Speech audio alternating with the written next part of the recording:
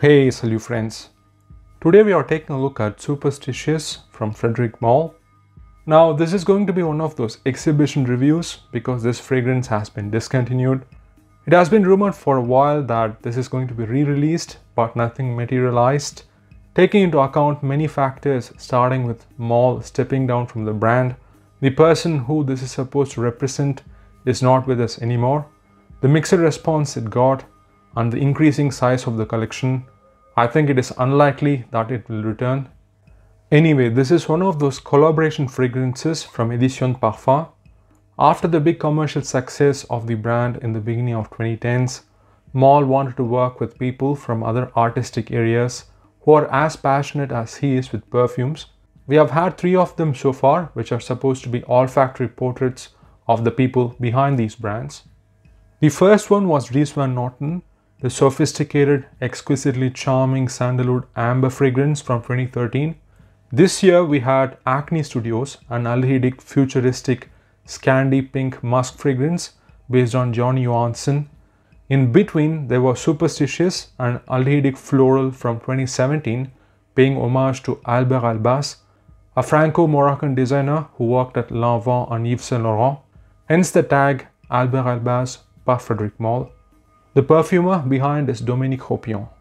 Speaking of which, this is one of the 10 fragrances by Dominique Ropion for the house. It was quite a journey watching both of them collaborate on a wide variety of fragrances with synergy, be it florals or classic masculines or wood fragrances. As much as he gets hate for working on full-on commercial designers, you can tell the difference clearly when it is with Malle. I think Frederic also tries to challenge and push Ropion which is why, as much as I respect some of his classics like Alien and Dune, I think his best work is with Malle and what I consider to be one of the best collaborations in modern perfumery. Coming to the smell, this one opens with what I can only call a controlled explosion of aldehydes. I don't think I have smelled such a large amount of aldehydes in any fragrance so far. Such a huge, bold, unashamedly vintage opening Obviously, the likes of Chanel number 5 and number 22 came to mind. Even Arpège from Lanvin, the bottle colorways kind of look the same too. But they are more fizzy, effervescent and polite compared to this bombastic, sheer, slightly metallic and polished tonality. This is like a gamma ray explosion from outer space.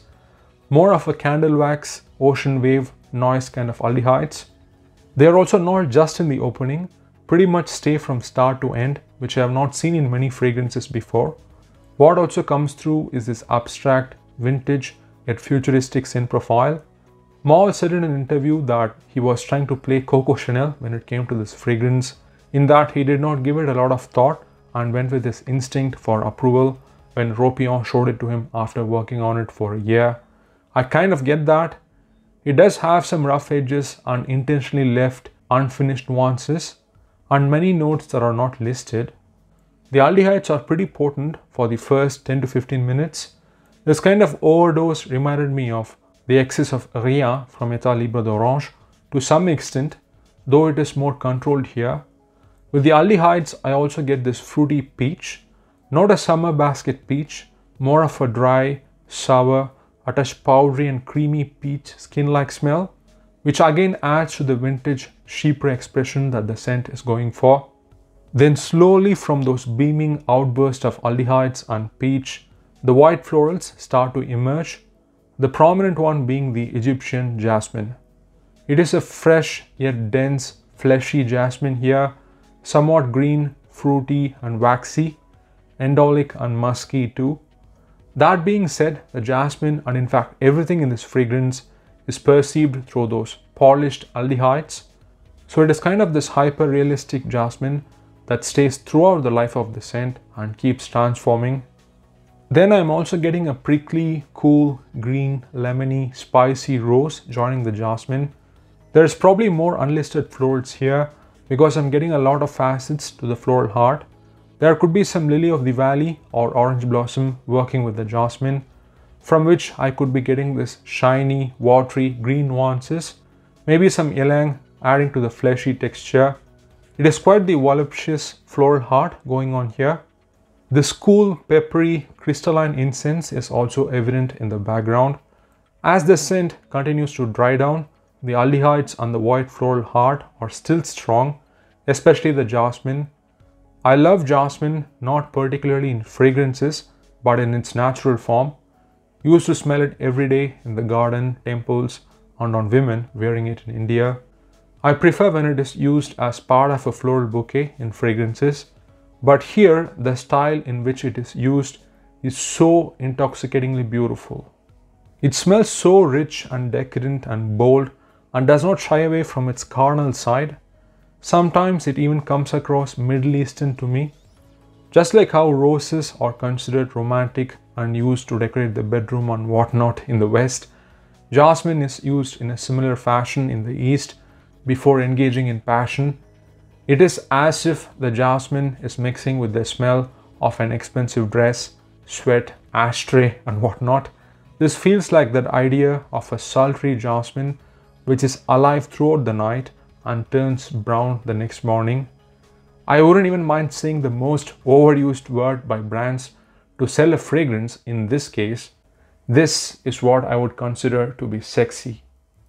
Coming back to the transition, the sourness of the florals that was present morphs to the woody base slowly. In this case, it is sandalwood. It is also made to smell somewhat fermented, smoky, and musky the way it is integrated here, not the typical creamy sandalwood. A big dose of patchouli, which also has this polished, glossy finish, some smooth, musky, clean amber, not overtly resinous, more so a soapy, nondescript woody amber. Going further into the dry down, the potency of the aldehydes tone down a bit and becomes more and more woody. The jasmine also loses the little freshness it had in this cloud of amber, patchouli, and sandalwood with some mossy, leathery touches underneath. In the final stages, the musky woodiness and the remnants of the florals is what is left, and the evil eye on the bottle can finally rest. It is a grand fragrance, so performs accordingly, easily 10 hours, unisex leaning feminine in the traditional sense, of course. It is so upscale, ornate, and opulent that I don't have a lot of occasions to wear it.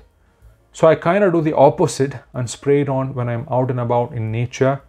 The drawback here is evidently its discontinuation along with Dries Van Noten, Though I have seen it come up frequently online for lesser prices, not marked up as much as Dries, that is a more easily appealing scent profile in comparison and so has entered the infamous investment fragrances territory at this point, going for more than 500 600 euros. In summary, I really enjoy this fragrance. The new vintage aesthetic is right in my lane. It has its optimistic side, but then also this cyberpunk dystopian vibe going on. Maybe it's just because it's one of my favorite movies, but this replicant character, Rachel from Blade Runner, in that black costume, is what I imagine when I smell this. Then there is the blend of humanistic and haute couture outlook it has which adds to this mystical, abstract character of the fragrance, also building the contrast of being elegant and profane at the same time, which is a quality that is difficult to incorporate in a fragrance. The classic Chanel and Guerlain fragrances did it really well, but it is becoming rare in modern fragrances. More than all that, it is sincere to the person that it tries to represent. Alber Elbaz's sleek, fluid designs are appreciated for their sense of opulence, simplicity, and individuality. He was inspired heavily by classic designs from the Belle Epoque era. He has also shared how he has these little superstitions in his life, whether it be cutting fabric in a particular way, never giving anyone scissors, etc. Malle also has his own superstitions, be it smelling fragrances in an empty stomach in the morning, using the blotters in a particular way, or maintaining secrecy as to what he is working on and so forth. Them coming together to make this is what is special about it. In the 20th anniversary book, they also mention how this was one of the mods for Dries and they had other ideas pitched by the likes of Maurice Roucel and Carlos Benaim for this fragrance. The decision to go with something this polarizing, and it is certainly one of the boldest from the house, just comes to show the level of commitment to the artistic expression both of them share. In what can be considered an honorable tribute to one of the highly respected creative designers in recent times. So that's been my review of Superstitious Alber Elbaz par Frederic Malle. Thanks for watching.